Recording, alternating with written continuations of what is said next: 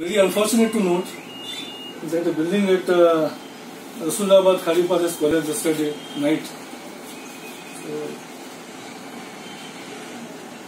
positively, this could have been avoided because almost three months back we had inspected that building and uh, after thorough inspection we had instructed those residents, inhabitants of the building, to vacate the building with immediate effect, without wasting any time.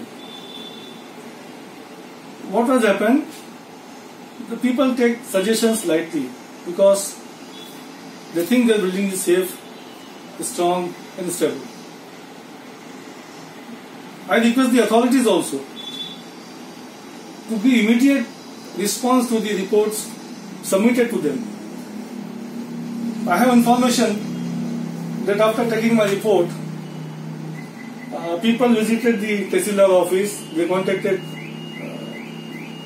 the circle officer, the talatis, even to the police I think. There was no response from the agencies. They simply said, you submit the report, we'll take the action.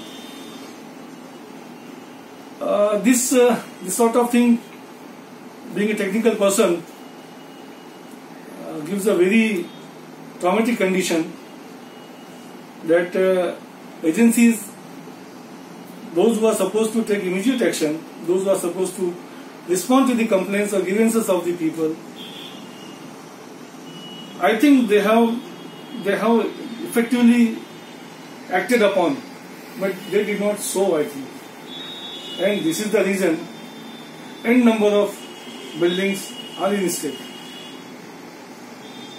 Very responsibility of both the people, the consultants and the agencies, government agencies, and their owners is there to examine the building. After examination, whatever the result is, see, two things are very common. Either the building will be safe or unsafe. But there exists a criteria of repairing also, precaution also, which nobody takes care of. As a structural engineer, I would suggest, I would request all the people of Bhiwandi, especially because we have been targeted that Bhiwandi is having lot number of uh, illegal or uh, uh, dilapidated buildings. So I would suggest that put your attention on the repairs of the building, maintenance of the building. Give some attention to the cracks, to the waterproofing leakages, to the exterior dilapidation.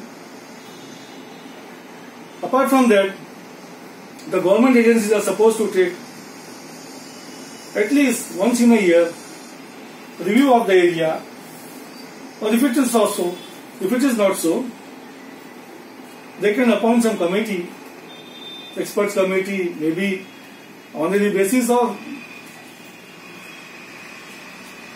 so which can examine the buildings affected or drastically dilapidated condition buildings. And precautionary measures can be taken beforehand. Because when we start doing some repair or we start doing some good thing for the society it will definitely reflect. It will definitely reflect. And incidents like this could be avoided. That's what I think. And my message to the people that they should be more careful. Don't take any care, any minor crack in the building as lightly as your other things. Because when the building falls, it's a matter of the life of many people. Thank you.